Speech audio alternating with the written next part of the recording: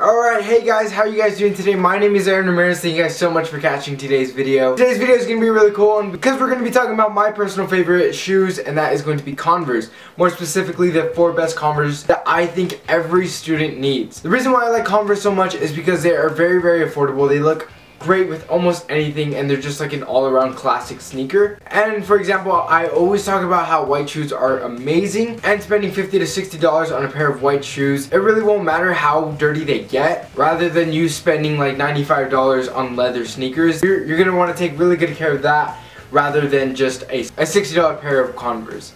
Also another bonus is white Converse look really really cool when they're dirty. But before we get into the list, I should introduce myself. My name is Aaron Ramirez. I'm a high school student who tries to help out other people my age with fashion, fitness, stuff like that. So if that does sound interesting, make sure to subscribe. I would really really appreciate it. But other than that, let's get straight into today's video. So the first one on the list is going to be high top white Converse. High top white Converse are literally one of the most versatile shoes that I think has ever been created. And like I said, when you get them dirty, they look really really cool. You could pair this with almost any type of pants. I love wearing them with my chinos or even just regular jeans. Navy jeans or black jeans look really, really cool with them. I personally think that they look great in every single season.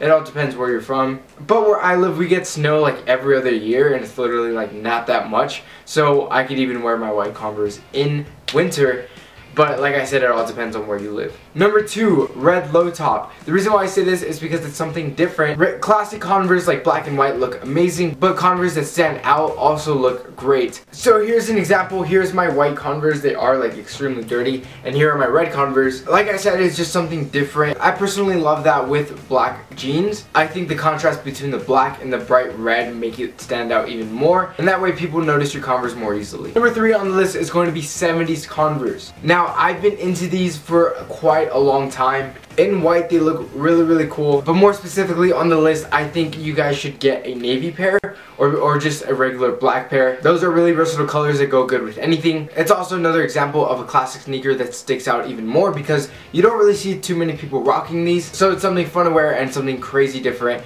And when I wear mine, they end up getting a lot of compliments. They are a little bit more pricey. I think they retail from around 80 bucks, but if you do have the extra money, I definitely do recommend checking that out. And finally, number four on the list is another high top. I think you should get the classic black high top Converse. All the ones I mentioned before are extremely versatile, but I think the black classic Converse is the most versatile one. They go good with anything, shorts, pants, chinos, and in all honesty, black goes good with literally any color. I cannot think of a color off the top of my head that doesn't go good with black. Okay, well that's it for the list. Like I said, I was only gonna do four for the list. I'm keeping these nice and simple. And by the way, I hope your guys' back to school season is treating you guys well. I know it's treating me well. So I hope you guys are out there killing it, keeping your grades up, and you guys are feeling the best you possibly can. Like I said, I have a lot of homework, so I should probably wrap this up. So, thank you guys for watching. Like I said, I would really, really appreciate if you guys left a like and subscribed. But other than that, guys, I'll see you guys in the next video.